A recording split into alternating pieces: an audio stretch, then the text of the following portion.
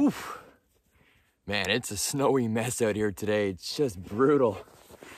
Welcome back, guys. Uh, thanks for tuning in to another episode. So we're heading out on the ice again with uh, with Chris. I know lots of you probably know uh, know Chris or from the Wooded Beardsman's channel. So we're heading out again um, for another night of of ice camping here. Chris is bringing his his hot tent.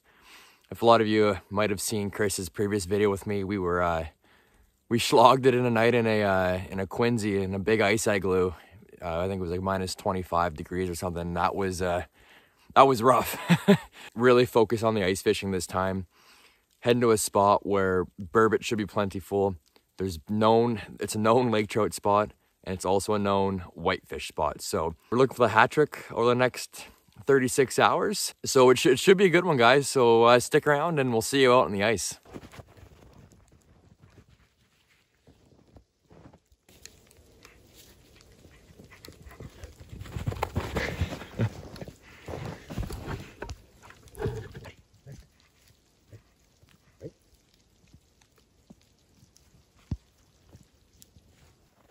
And no, that crazy guy won't be joining us, but I'm planning to take him out in a, on a video, for, planning on taking him out in an ice fishing video soon.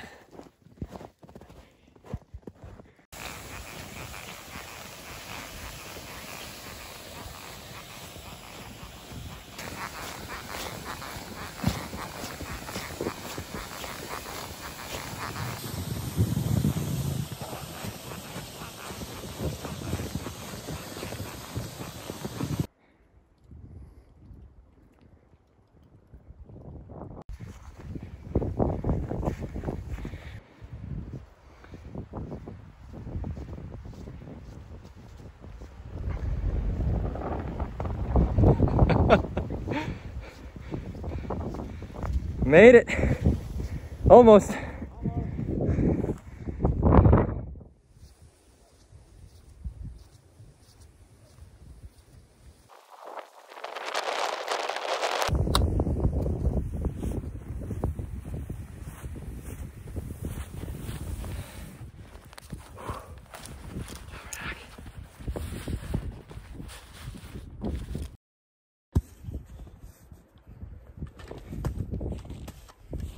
Jace is worse or better than you were expecting?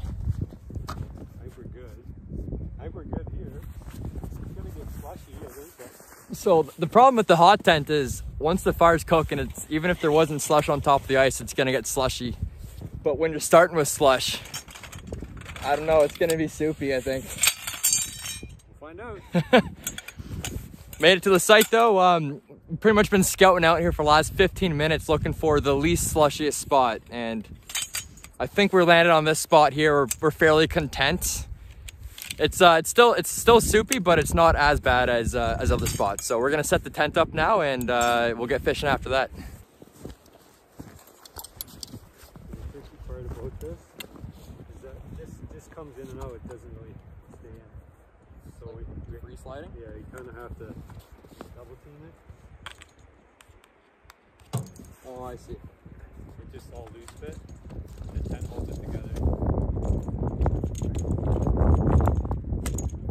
Pull the legs in just a touch, maybe. Just don't let it explode. It. Oh, baby, that was beauty. Beauty. Oh. It is. Okay, so hold on a sec. Yeah. I, get, I gotta get this into the corner. you think I done this before? So each corner here, Adam. Yep. Just lift up. Push. It should go in the sleeve. Hold the tent. It's really light. Okay, keep an eye on the tent. It doesn't blow away. Okay. Turn it this way a touch. Which way, sir? Just for angle. We're gonna turn. I go Yeah. this way. Yeah.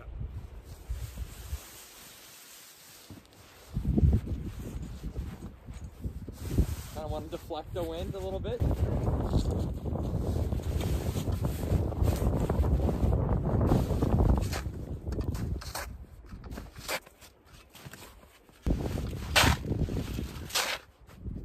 Just on, just on the black. Okay. Because if it gets any higher than that and the slush builds up, Yep. and then we can pull that You know, pull that black plate before you pack it. Okay. 'cause it'll make the tent a lot bigger. Look at this thing.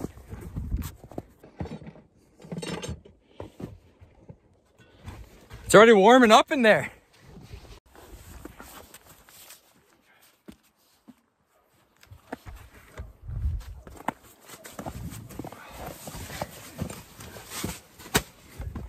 This is home for the night. Uh, I got two cots in here. It, actually, you know what? Honestly, it fits a lot more comfortably than I was expecting. Now the biggest fear is obviously the floor is slush already. It's not too bad. It- It's fairly packed down, but I'm sure once that fire gets cooking, Chris says it gets up to like 30 degrees in here. yeah, it's gonna be a. It, it'll be slushy by the time we're done. Hundred percent. so um, that should be exciting. Uh, We'll just bail it out. as Chris told me already, he called that side, and I, I was a little skeptical right away. Not sure. I put that caught up. I thought that was me for sure. He says this side is uh, is the stove side. He doesn't tell. He hasn't told me why it's the bad side. It's not bad. you just your feet are gonna be hanging, so you're gonna have to make sure your your sleeping bag doesn't Burn. get over the edge too far. I mean, There it is. You're gonna have plenty of room. Okay. I'm just saying it's not it's not as much room as on this side. Although the, the bad side about this side is that it's like you have to feed the fire. Although you, you can you, actually this is sides you have to feed the fire too. So He said though, if, if I was older, he would have given me that side. Usually I, I let my guest have this side, but I mean you've got all the time in the world to figure out which side's the best. And today you lost that one. That's the way she goes.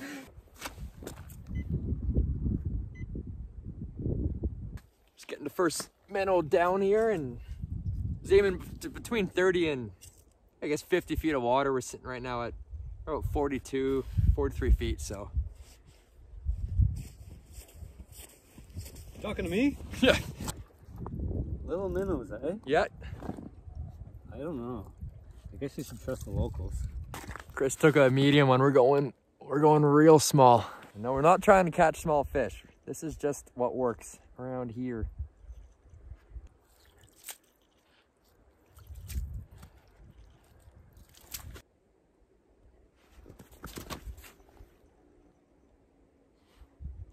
So as usual, I'm trying to keep it about between five and 10 feet off the bottom. Hopefully something comes in quick and slips her up. Give us some lunch.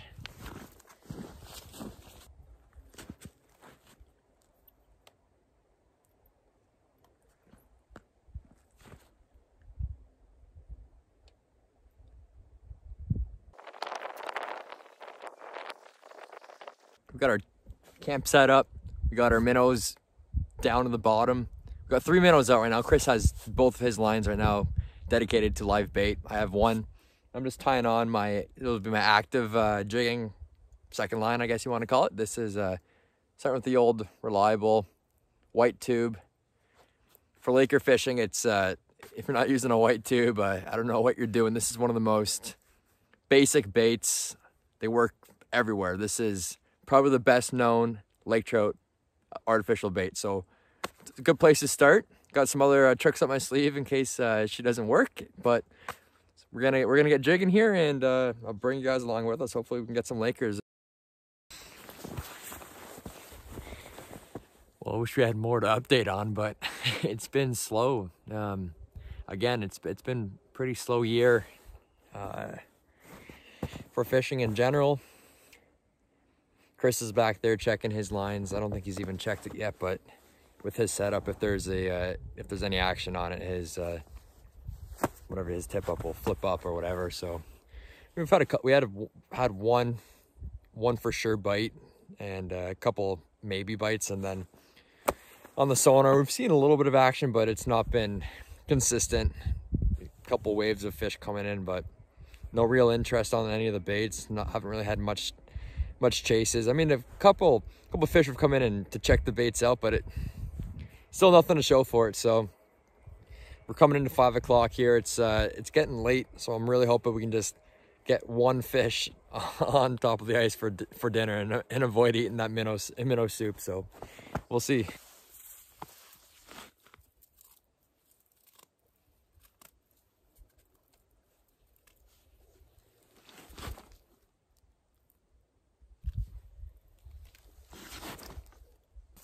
How many snowballs till I land one on the minnow bucket, you think? You'll hear it. You'll hear it. Say 25. This is three. Oh, that was close. This is what it's come to.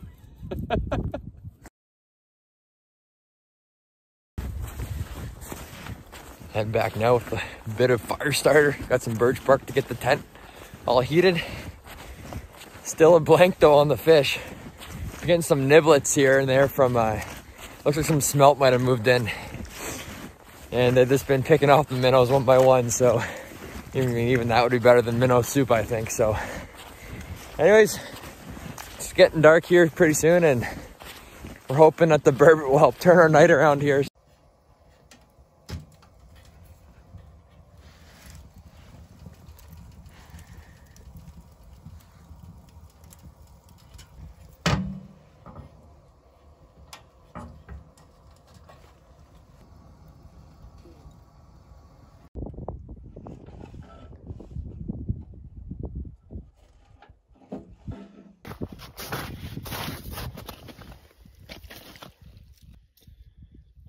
Here is the first positive update of the day.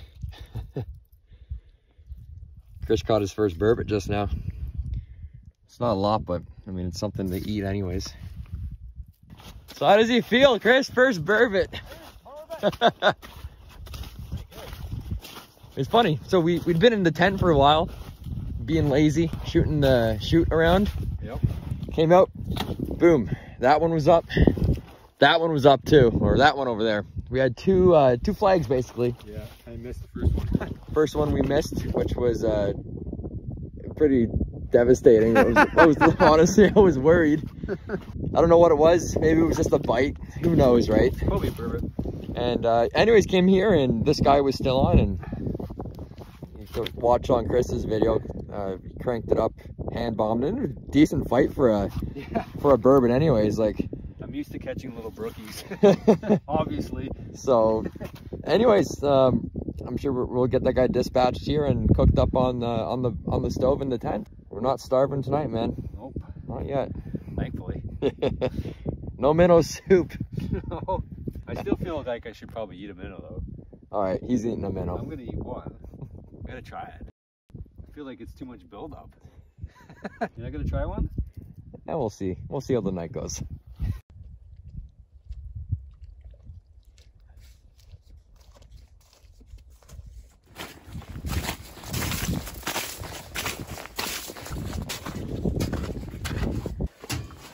Forgot to pee. That was the main reason you went out. it was the reason you went out.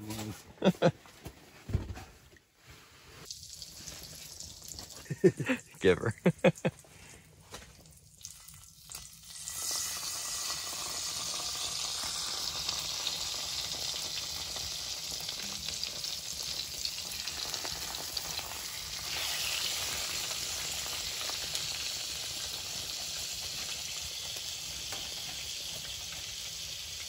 Ooh, she smells. That's got a smell to it. What do you think it smells like, though? I smell. fish. It's, yeah. At first, I just got the fried butter smell. Yeah, no, it was fried butter first, but now it's just like Straight bourbon. fish.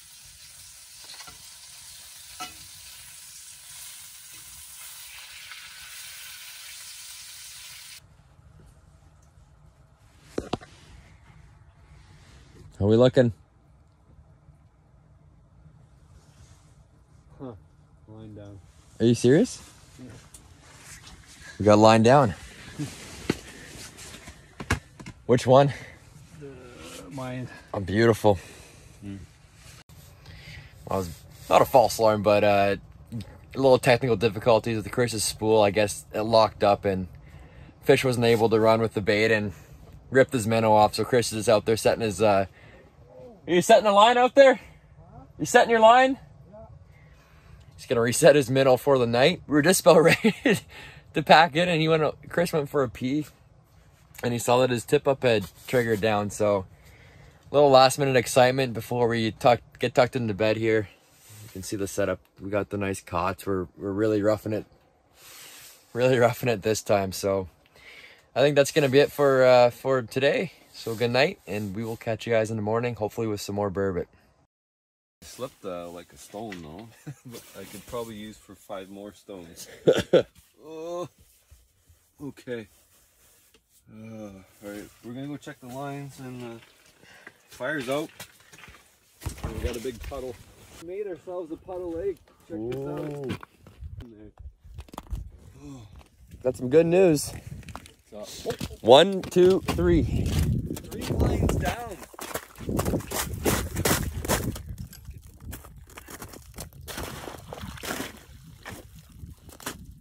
I got weight. I got. Mine feels pretty decent. Fish? Yeah, Okay, good. Fish number two. we're on.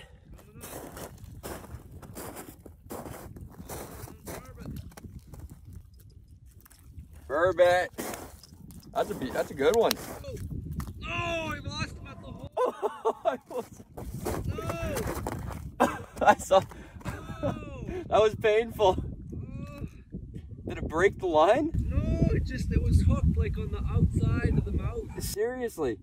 Oh, that hurts, man. Greasy bourbon in the morning. Look at that. Mine was bigger than that. Really? It was chunky. Well, it's probably about the same. That's a good fish. There's a little bit of meat on there. Yeah. Yeah, it's getting cold out here now. Yeah. I was I lost all my heat from losing my fish. There's still hope though. I know, I gotta go check the other one. still got hope. Hey, we got some breakfast. Breakfast burbot. Let's go. Oh, sorry guys, oh, Sorry, Mr. Fish, for making you wait. My hands are cold.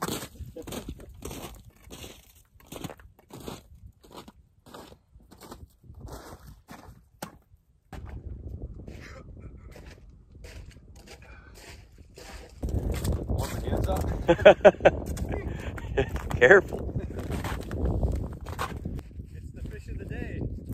It's the fish of the weekend. Fish of the weekend. Fish of the 24 hours. I like the burbot survival challenge, man. That's hilarious. Would you like to have a burbot or a bourbon, sir? Would you like a bourbon cooked this way or that way? Get real fancy. A, a wet burbot or would you like a fried burbot? Look at the tint to it. yeah, it's got a tint. I was like looking at it, I'm like, it looks a little bit yellowish. I've always been told not to Not to drink yellow? indulge in yellow snow and It's not snow though. It's yellow water. Marking anything on there? man, like I, I was telling Chris at the beginning, it was just filled with smelt. Like you can Oh yeah. like tiny little Yeah. lines that kind of are really skittish. They're going up and down, and they're actually you can tell they're afraid of the lure. Yeah. If you don't know what a smelt is, it's it's basically a small minnow. Yeah, it's it's yeah. Well, maybe a bigger minnow, right? They, Sure, Like uh, like t- they get up like ten inches. We've seen them here. It's Yeah. great pike bait. And good eating too. Good actually. eating. They call them the uh, French fries of the lake. But they're harder to catch. Well, Yeah. not like with what we're using. We're Right. going- we're targeting bigger fish. So the and we've seen evidence on uh, some of our smaller minnows. Their tails will be completely nipped off Yeah. from the smelt. They'll come in there and they'll just Yeah. bite their tails off. Yeah, yesterday we had trouble trying to hook one up Yep. because the we could see the Right. line keep Yeah, going well, down, but it was just mhm. biting the tail off because it's not big enough to like eat, eat the whole thing. Exactly. So we're not really targeting 10 inch fish. We're hoping for 10 pound fish 10 pound. We're looking for the home run. in a perfect world. But yeah, we could spend all day catching little, bunch of little, We could yeah, if we wanted to. have a smelt buffet. Yeah, so add some variety to our diet. Really? Well, I don't know how much bourbon you can live off for for how long. So side of smelt. Well, let's get a, let's get a whitefish or a lake trout. I would love a whitefish. Let's do it. Let's do it.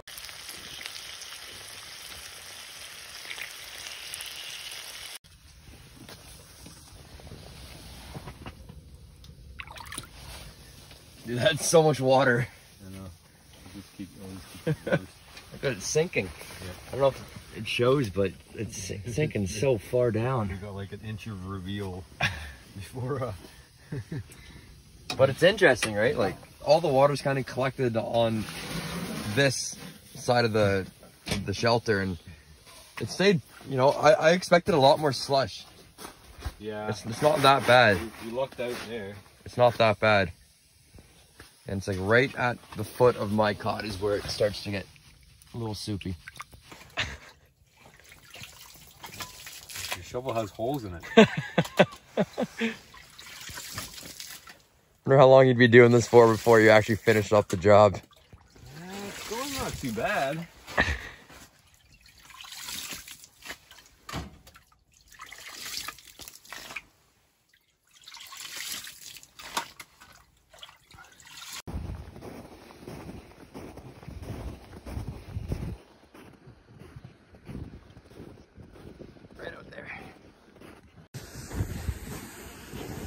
Heading out on the uh, little expedition. Figured we had to try to change something up. Chris is gonna stay back at camp and monitor his lines. And uh, I got a, I had a spot up here. It's about 400 meters away that I wanted to just test out, see if there's any or whiteys active in the area. This is a beautiful day. Like this is, we got the whole lake to ourselves. It's just, just amazing. I can't believe more people don't want to do this.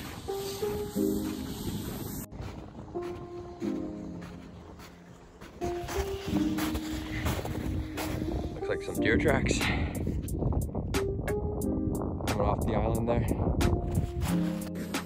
We actually had some tracks right outside of our camp, fresh tracks this morning, that is. And uh, is telling me he woke up, he doesn't know when, It's in the middle of the night, and he, and he said he thought he heard someone walking with, with a toboggan or something. But he was hearing the deer.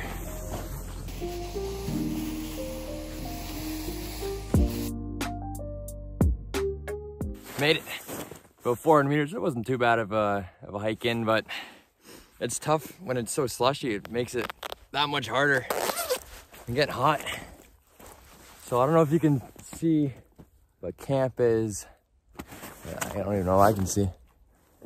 It's like right there maybe?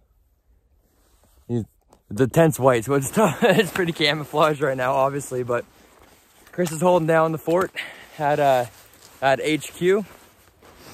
And yeah, hopefully this spot uh, brings us some luck. So basically I'm, I'm focusing on a 30 foot hump that's somewhere right around here. And now beyond here is super deep water, like 150 plus feet. So basically I'm, I'm looking for a feeding shelf. I'm hoping to find some active fish. Um, I don't want to make any promises, but we've had we've had luck here in the past. I've been saying that a lot recently, but you know that's ice fishing. That's fishing in general. That's why it's called fishing, not catching. So we're gonna get a couple holes popped here. I'm gonna set one minnow that way, and uh, I'll be I'll have an active jigging hole right here. Oh, it's cold. That is cold. I don't know why I do this to myself.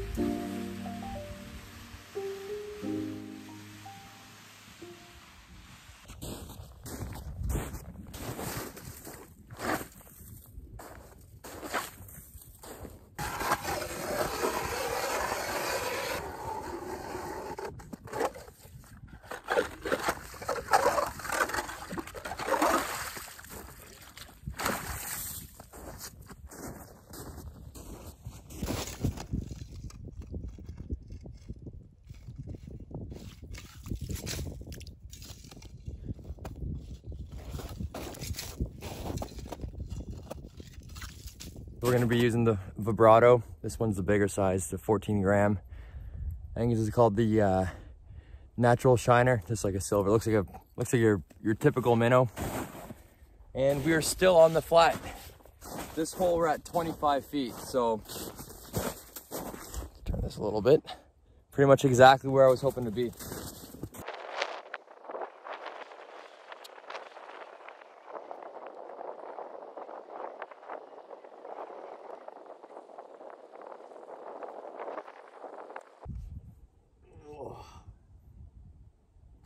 Come on.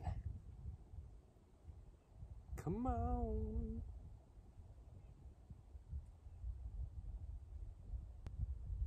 Fat mark came out of nowhere. I thought, oh, and it's gone, just like that. Just like that. oh, God, that is frustrating. Huge mark. Definitely a target species, but I was so zoned out that the mark popped out of nowhere. I just assumed it was my my lure. Oh, it's frustrating. We're on plan. We're on plan Z here. I'm gonna I'm gonna just drill a bunch of holes out. I want to find where this flat starts to break off into deeper water and try fishing the break. So yeah, I don't know. We marked we marked the fish. Um, I gave it 15 minutes, which is I know it's not a lot of time, but um, I'm really looking to find active fish and find them quick. So basically what we're doing now is hole hopping. So like I said, I'm gonna punch a bunch of holes straight out, measure them, look for when that 25, 30 feet, when it starts to decline or gets deeper quickly. And uh, yeah, I'm gonna try some deeper water here. So see what happens. So our, uh, our nice weather is slowly slipping away here. I'm sure you can hear that wind. It's ripping now making a little bit chilly, but not much to update. We uh, moved the minnow out, found 45 feet of water, maybe about 50 feet that way. I'm still jigging here in 30, 35 feet. Um, and yeah, just waiting, man. Like, it's tough. It's, uh, this is what ice fishing really is.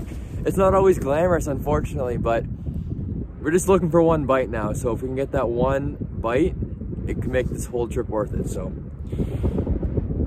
cross your fingers, say a prayer, whatever you want to do. Just uh, keep us in your thoughts for uh, maybe we can maybe we can pull it off. Maybe we can get a nice fish topside here yet.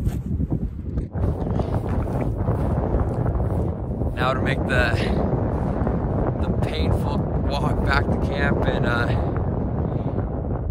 explain to Chris about my uh, my failures, but hey, we gave it a good shot. You know, we gave it a at least we tried. At least we tried.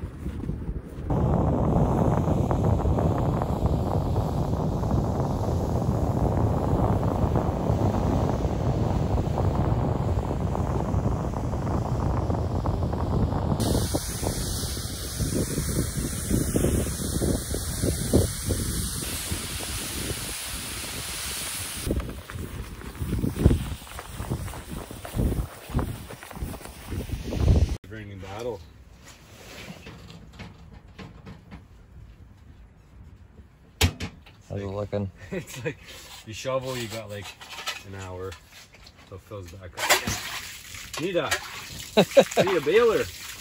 Oh man, you are the baler. Yeah.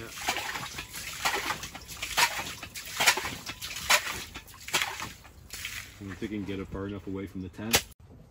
I've resorted back to bed. I'm defeated from my uh, failed expedition from this morning. the wind just kicked the crap out of me, man. Like, it was me and Chris was saying, like, it was almost for five minutes, anyways. It was so nice when the sun came out, and then obviously, not far behind, the wind just killed me.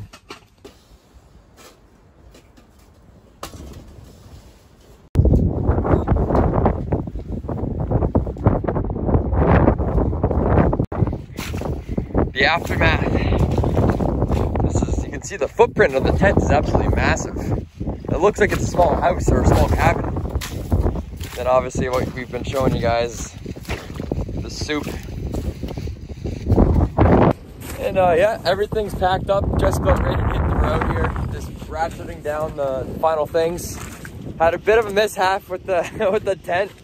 And uh, as we're kind of setting it or taking it down, the wind picked it up and took it away like a kite. And there's Chris a couple hundred feet away, chasing it like a like a chicken with his head cut head cut off. But uh, we got it. It's uh, I've been there before myself, but uh, no harm done. I might need a little uh, uh, what duct tape, a little duct tape when he gets home. But nonetheless, guys, I think that's it for now. Uh, big thanks to Chris for making a trip up and coming out with me and slaying burbot, and sorry to Chris that I couldn't get him on some Lakers, but we tried, not for lack of effort. Yeah, we tried. We put a good effort in, and you know, whatever. That- That's the way it goes. We got lots to eat anyway. Yeah. Well, the burbots were uh, cooperating luckily, and uh, yeah, maybe next time, eh? Yeah. All right. Well, thanks guys for watching, and uh, we'll we'll get you on the next one.